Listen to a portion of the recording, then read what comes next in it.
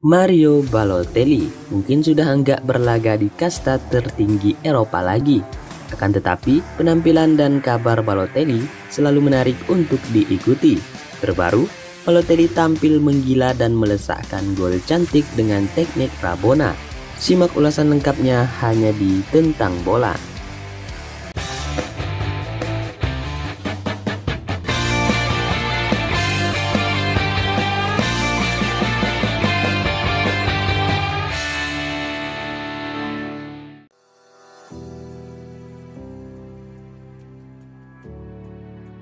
Balotelli kembali jadi bahan pembicaraan setelah tampil menggila. Penampilan ini terjadi pada laga pekan terakhir Liga Super Turki antara Adana Demirspor melawan Göztepe. Pertandingan di Stadion Yeni adanya, Balotelli dan kawan-kawan sukses unggul dengan 7 gol tanpa balas. Hebatnya Mario Balotelli tampil sadis dan mencetak 5 gol di antaranya. Balotelli bahkan sudah meraih hat-trick sebelum memasuki paruh kedua. Saat itu, Balotelli menjebol gawang Gostapi pada menit ke-33, 36, dan 44. Sementara itu, Balotelli mencetak gol kelimanya dengan sangat ciamik. Saat itu Balotelli mengecoh back Gostapi dengan teknik take over dan menusuk dari sayap kiri. Berikutnya Balotelli melesakkan bola dengan teknik Rabona. Gol tersebut mendapat berbagai komentar dari netizen. Beberapa menyebut cuma Balotelli yang bisa melakukannya.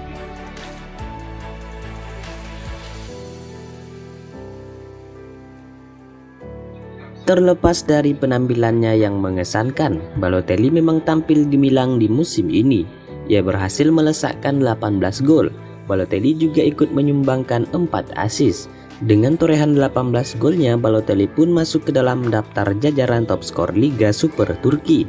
Pada perebutan top skor tersebut, Balotelli cuma kalah dari striker Kasim Pasa, yakni Umut Bojok. Sampai tutup musim ini mantan striker Ed Celorian tersebut mencetak dua gol lebih banyak. Sementara itu rasanya Balotelli belum sembuh dari sifat bengalnya. Hal ini terlihat dari catatan Balotelli yang mengoleksi 10 kartu kuning dan satu kartu merah. Padahal seperti yang kita ketahui, Balotelli adalah seorang penyerang.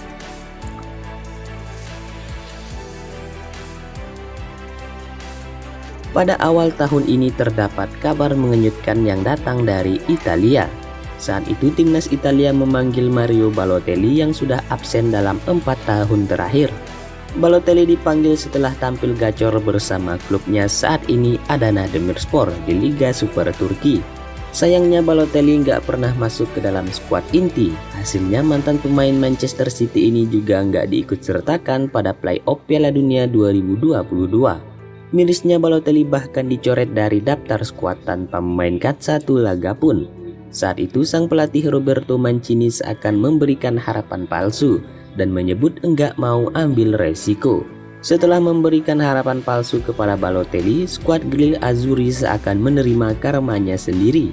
Saat itu pada laga semifinal mereka disingkirkan oleh Macedonia Utara dengan skor tipis 1-0.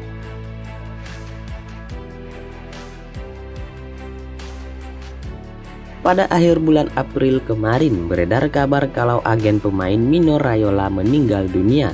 Mendengar kabar tersebut Balotelli pun langsung murka dan menumpahkan kemarahannya. Balotelli mengecam orang-orang yang pertama menyebar berita hoax tersebut. Namun beberapa hari kemudian Mino Raiola benar-benar menghembuskan napas terakhirnya.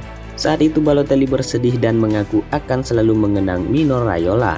Balotelli juga menganggap Raiola sebagai ayah keduanya sebagai informasi, Rayola membantu Balotelli untuk melintas di klub-klub sekelas Manchester City dan Liverpool. Itulah tadi ulasan mengenai Mario Balotelli yang kembali menggila dengan gol ciamiknya. Bagaimana menurutmu? Tulis pendapatmu di kolom komentar.